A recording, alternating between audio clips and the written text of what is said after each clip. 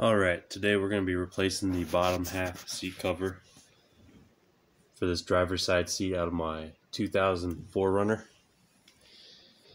And just to get this out of the way immediately, I am not going to be reupholstering this myself. Obviously, I got this cover here that's already pre-made. You got this off of eBay. And they pretty much, if you search around on eBay, you can pretty much find these pre-made seat covers for any kind of car. If they make them for a 2000 Toyota 4Runner, I'm sure you can find them for Volkswagens. I know I looked for them for my dad's F350. They had them pre-made on there. Uh, I've seen some for Crown Victorias. So they're out there. You just got to do a little bit of searching. You can see here, we got some foam damage. So I got this foam here. I'm going to be cutting it up taping it in there, and then putting this cover over top of that. All right, getting this seat out was super simple. You've got four bolts. You know, each corner has a bolt. Each car is going to be a little bit of different procedure to do. The This 4Runner has a couple clips that you had to undo. Just get a screwdriver, pry up different ways on it. Just be gentle so that you don't break the little clips on the inside because they're plastic. Also, as you can see here, this is not a bad time to go in there and clean up all around your seat. This is some LED lighting I have that I didn't really install thoroughly. So while we're in here, once we get this cleaned up, get the seat fixed and put it back in, I'm going to be fastening this to the underside of the seat with some mechanics wire. So we'll get all this cleaned up and do that after we finish the new seat. All right, once you get the seat out, first step you're gonna wanna do is get these side covers off. This one is just a Phillips head, but uh, depending on your car, you might need to just pry it off. You might need Allen keys. Uh, you might need Torx bits. I've seen some seats that use Torx bits. So it all just depends on your application. I'm going to go ahead and start taking this off.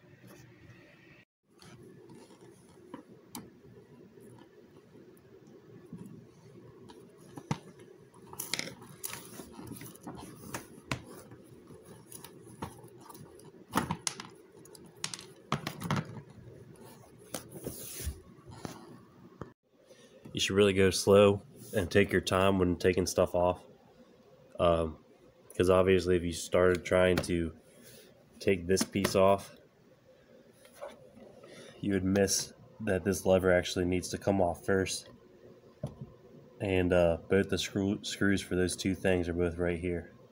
So take your time, make sure you take things off in order, and everything will go a lot smoother. All right, now on to the next part you can see this knob is on here.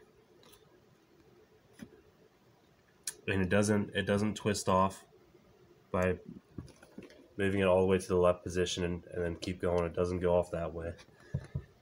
You can see there's no marks around it to kind of slide it out. But if you look inside there there is a little C-clip that you need to push out and then the knob will come off it's important to note these little things so that you don't go breaking anything.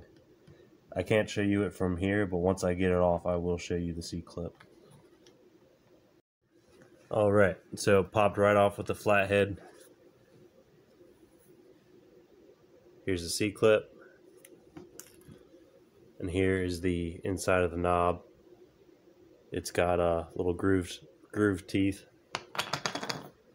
that go on here. And there's the ring that the C-clip sits on. Alright, so now that we got that stuff off, we should be able to just slide this off. Maybe. There we go. Kind of work it, move this out. There we go, slides right off. Alright, now that we got all of our stuff off here, you can see it's pretty dirty. So we're going to go give that a wash real quick before we move forward. Alright, we got everything cleaned off here. I just used a dish sponge and Pine-Sol and hot water. And it was all dirty along the bottom here. And you can see just how, how much better it looks now. just something to think about. Like, if you ever, whenever you go through a drive through or a car through, um, you know, a car drive through or whatever, and you spill soda in your seat and you clean up the seat, um, there's still always going to be a little bit left in here. And so when I took this off, it was really dirty inside here. Um, it was dirty all along the bottom here on this side too. Just something to keep in mind. You can easily clean this stuff off with a sponge and dish soap or Pine-Sol or whatever. And it's just going to make it look a whole lot better in the end once once you get everything back together. All right, next step is going to be to take the back half off here. And it's going to be these two bolts. You got 14 and 14 on either side. And something to note is this 14 bolt is the same size bolt that was keeping the chair secured to the floor. Uh, something car manufacturers often do to just keep the process simpler, less less bolt sizes. So anyways, we're going to go ahead and take them off. And after you get those bolts out, you're going to go ahead and unhook these two seats. So you got a you got a little J right here. It's hard to see. There you go. You got a little J right there. And then you got one on the top. And they just hook into each other, so you just need to kind of pry them apart. And then you'll be able to take this top seat cover off. Alright, now that we got the back off, we're to remove the bottom seat from these tracks. And it looks like, again, we've got 14 millimeter bolts, two on each side. So we're to go ahead and take those off. So those um, seat rack bolts were actually 12s, but they were skinnier and longer. So it's going to be easy to differenti differentiate these from the ones that held the back on. It's also important to look at how everything is oriented with the tracks. Um, all the bolts are out, so it's very loose right now. It's important to note um, this is the pivot for the back, and you can see it slides and it it hooks into this side with a female, and then it goes into that side with a male.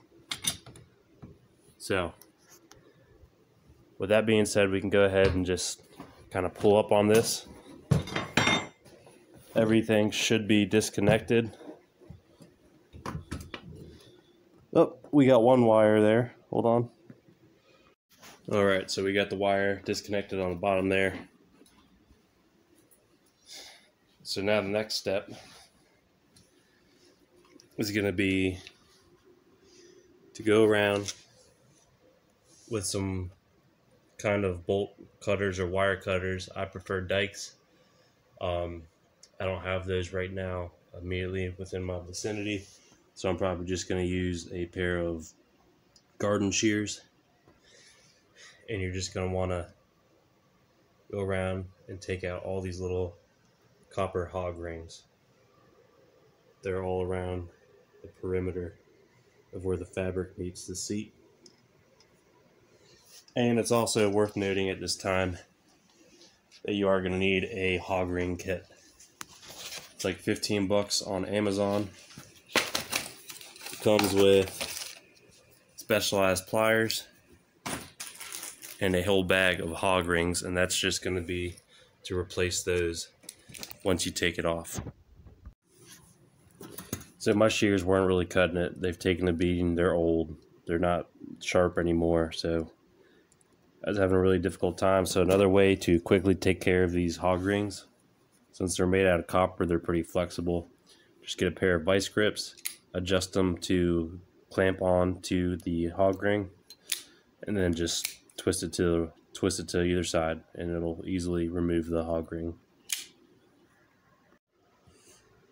Once you get all the hog rings removed off the bottom side, you're going to want to flip it over and turn the cover inside out.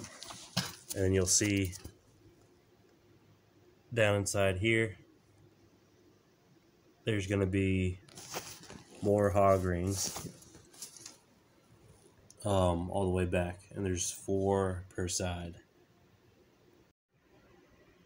All right, once you get all those side ones off, you're going to have two more in the middle here, each where these little indentations are.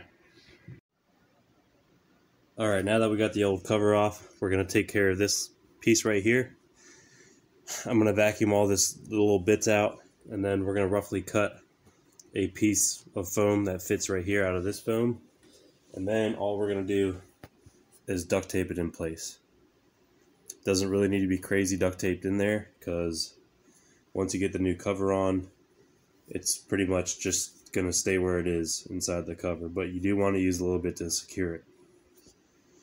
So we're going to get started with that. All right.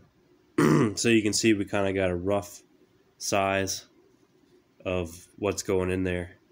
And so now we're going to leave it a little bit bigger and we're just going to try to stuff it in there to see what we can get out of it. And when you stuff it in there, it pretty much gets it right on the money. So we're going to leave it a little bit bigger, and now we're just going to kind of tape it in place, not using a lot of tape. All right, once you put the first layer of duct tape down, you're going to kind of notice the bulge where the other piece was. So after that, what you're going to do is you're going to get your next piece of tape ready, and you're going to kind of push down on the bulge and place your next piece of tape over that. and that's going to create tension in the duct tape, and that's going to make it look smooth and it's going to be sunken in like how it should be because the, the duct tape is going to be gripping on to the first layer of duct tape. So that's how you're going to alter it to kind of make it sit flush again. All right, I've got that just about how I want it. So now the next step is going to be take a little razor blade and pre-slice all of these little brackets here um, just so that you can get new hog rings on where they go on the old spots and do it in the same order. So do these two first, um, put the seat on, and then go around and do the two outside portions. And one last thing worth noting before you go securing the new seat cover down is go ahead and mark all the spots where there's holes on the side of the seat. So we got, excuse me, one here, one here, one there, and one there. So in the same location, we got four all together, two on each side. All right, so we got the cover itself uh, fastened to the foam on the top side. So now you got to remember where you took all the hog rings off of um, when you were disassembling the old one. For this one, there's going to be a hog ring right here, right here, right here, right here. So we're going to make make four slits with the razor, and then on the sides we've got one, two, three on either side there. So we're going to make three slits on either side. and then in the back, more of the same. We got one, two, and you can double check how many were used by looking at your old one. And you can see we got one, two. Um, it's really hard to see on this one with this camera. Uh, but there's a second little indentation right here. You can see the rectangle where the material looks new because it was covered. so we're going to get started on that. One note when putting these hog rings back on is it can be quite a struggle to put it on through the hole here um, and then get it aligned with this one.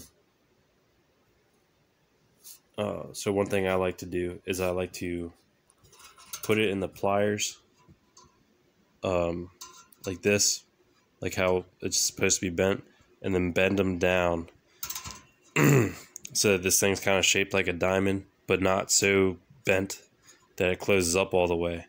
What that's going to do is it's going to pre-shape it so that when you uh, get it around the two, um, you get it in this and you get it around the seat, it's going to pre-bend it so it's really easy to mold into place like it's how, how it's supposed to.